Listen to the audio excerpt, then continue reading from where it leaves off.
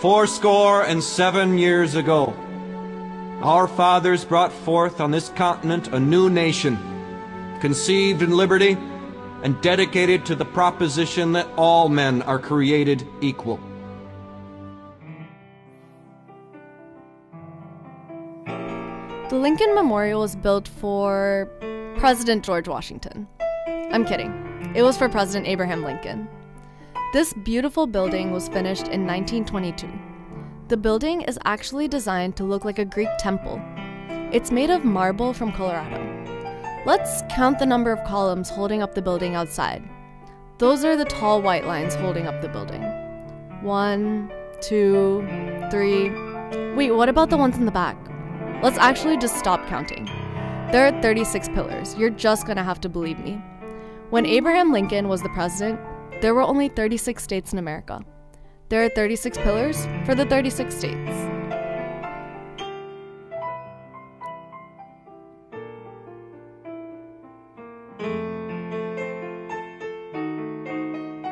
If you look over there, you can see the reflecting pool and the Washington Monument, that tall pointy thing way in the back.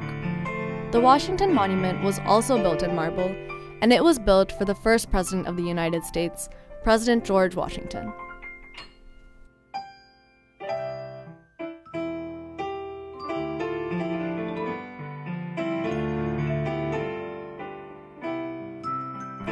Let's take one last look at the statue.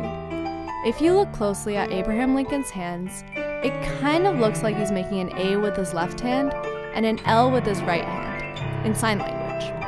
There's a legend that the sculptor carved this since his son was deaf, and he wanted to give Abraham Lincoln credit for letting Gallaudet University, a university for the deaf, the permission to give out college degrees.